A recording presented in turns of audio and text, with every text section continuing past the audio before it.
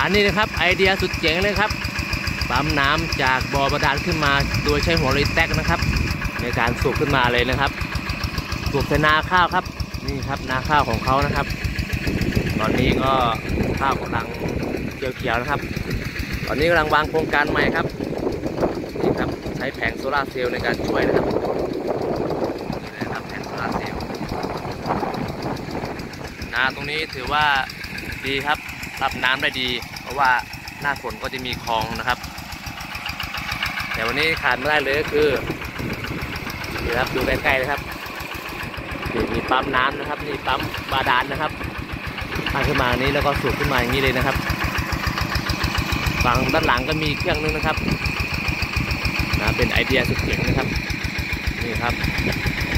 ถนนข้างๆครับนี่ครับนี่ครับดูนะครับ ปิดเบาๆน้ำออกแรงเลยนะครับ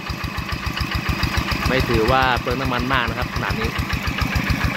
นี่ครับระบบการทำงานครับไม่ยากครับดันขึ้นมาเลยครับ ดูดขึ้นมาจากบ่อบาดาลนะครับ